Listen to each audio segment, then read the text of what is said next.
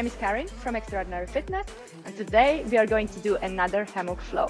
Great, let's start the routine. I will go through it step by step. We start in an inverted straddle position. So what I'm doing is I'm pushing my hammock down so it's on my lower back, just above my hip bones. For me, I need it to be above the hip bones if I want to do this one leg hang really nicely. Otherwise, I feel like if it's there, I'm kind of losing the balance. But this is a little bit individual on how your body is built. For me, it has to be just above the hip bones. So I'm pushing them down, placing there and leaning backwards. So now I will take my knees and go with them towards my shoulder while I'm pushing a little bit here, which means I'm inverting. And then I can straighten my leg and I'm in the straddle position. From there, I will place my leg inside the silks, one leg, and the other leg is going back. And I'm in a one leg position. As you can see, because it's above my hip bones, I can push this leg more down and get a nicer shape. So this is for me, but you have to try what works for you. From there, I have also, I have the silks really not on my foot. I have them all the way in the knee pit. This is important because we are going to mount. The same hand, like this leg, which is inside the silk, is going above. So I'm kind of crunching, pushing my leg down in the same time I'm coming up and grabbing there. Now I will take my free leg and go through the silk from the inside and place it in the bend it. So I'm having a little bit grip on the silk here and the other one is kind of on the same side. Both are on the same side of the silk. My second hand, my free hand is going on top to pull myself up one more time. And then this hand, if you need to, either you keep it here and slip your knee to the inside or you push a little bit out so this knee can actually go to the inside and I can slide the silk down to the foot. From there, I can push it back and come into this shape. So can, you can lean back, you can grab here, you can grab here. You have to push the silk kind of back if you want to come into a nice split position. Push it back and sink down as much as you can and hold it there. The next thing which happens is that you are going backwards. So I'm going away from my hands with my back back, keeping the position of the feet for now. Coming here, getting my this leg, which has been on the foot fixed, is going through first and releasing. And my other knee is going as well through the middle and pushing down. So my foot is going to slide down here, off, and I'm coming here. And as you can see, I'm already inside here, so I'm pushing myself through, and there I am in the layback position basically. So there you are in the layback position. From there, my left hand goes back the opposite hand of the leg which is having the silk around.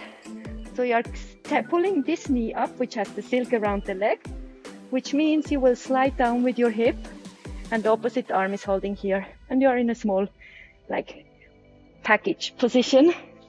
From there, I am straightening this leg. The leg still the one which is in the silk and the other leg goes through. I put my ankle on the silk. I will turn to you so you see it properly. So the leg is straightening from the bend position, just straightening. I'm leaning backwards, pushing my hip up, taking my free leg, placing it on the silk, and then I'm pushing my hip through into a mermaid shape. From there, my free leg goes through again through the middle to the back. My body and this hand is following through, keeping that leg straight. So I'm pushing here, going through now you can place this hand here, go through all the way and basically just bend the other leg. It will kind of come natural. You will feel it when you do it, that everything kind of falls natural.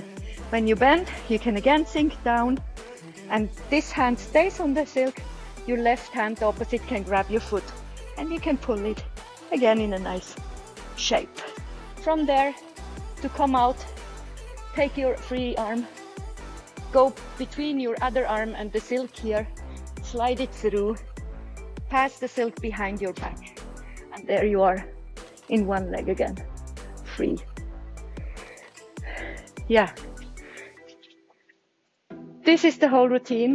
You will have to do it. You will have to try it yourself. Maybe do it in break in pieces, do one piece, figure it out. Look at the next piece on the video, try it, figure it out, and then do it. It kind of always with these things, after a while they go smoothly or they, they make sense when you do them.